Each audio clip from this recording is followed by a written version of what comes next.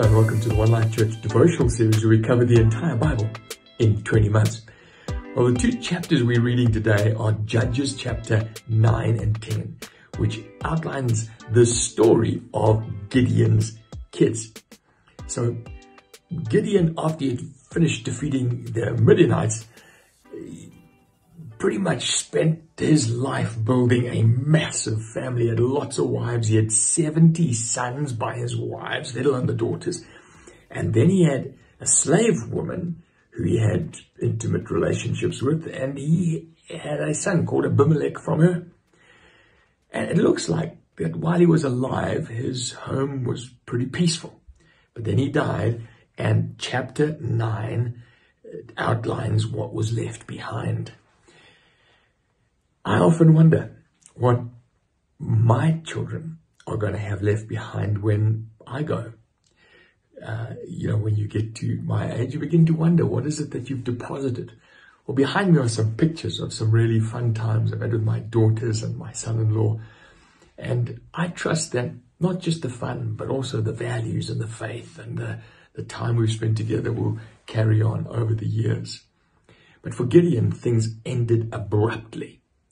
And it, it all centers around his illegitimate son. Imagine the pain. Imagine the poison that was being festering inside that boy as he grew up. Well, I tell you what, when his dad died, it blew like Hiroshima. He went to his mom's village, Shechem. He rounds up people and he says, listen, do you want those 70 boys of Gideon to lead you? What about me? I'm your flesh and blood. And after all, I was son of Gideon. He said, no, we'll, we'll, we'll go with you. So he arranges at a price of 70 pieces of silver the murder of his 70 brothers. The younger one escapes. Anyway, when he is being crowned as the leader of the region, the younger son Jotham comes back and he shouts from a distance. He says, my dad was nothing but good to you. Now look what you've done. And he calls this curse on them and says there's going to be fire between Shechem and Abimelech who's trying to lead them and all the people of the region. And then he disappears. He flees for his life. Well, for three years, it looked like Abimelech's life was pretty cool. And then it happened. A guy called Gaal arrives and he creates a stir in the region, turns the whole of Shechem against Abimelech. Abimelech hears about it. A war ensues. He comes, attacks Shechem, but he's bloodthirsty. He turns on his mother's family and he obliterates the entire place, kills a thousand people in a, in a tower. Then he goes to the ally of Shechem. He tries to do that too. And a, and a woman throws a milsa onto his head and to his terminal. So he asks his armor bearer to kill him. Tragic, tragic story. But I ask myself, what can we learn from this? Well, firstly, let's look at the people of Shechem who entertained a man with poison, who entertained a man with hatred. Uh, they set him up, they used him, but then he turned on them. You know, whether you're in business, whether it's a friendship circle, be wary, wary of people with poison, people that have got hatred in their heart. Didn't end well for those at Shechem. What about the brothers?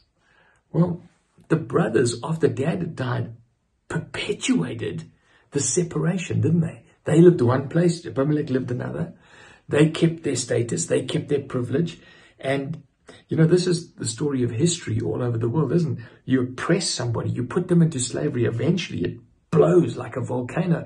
And those boys did nothing to put out an arm and, and pull Abimelech into the family. They perpetuated the folly of their dad. Well, it, it's just crazy. If we allow in our work environments, in our living environments, in, in our in our societies, this huge disparity and, and we, and we allow pain and we allow separation to, it eventually blows.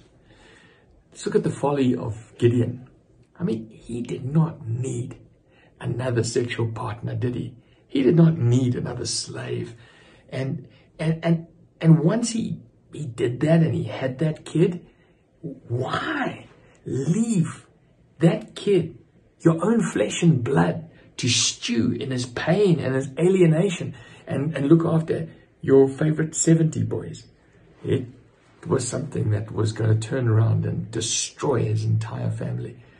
And so yeah, for me, I look over my shoulder and I think, who is it close to me? Who is it in my work environment? Who is it around me that that is being left out, feeling alienated?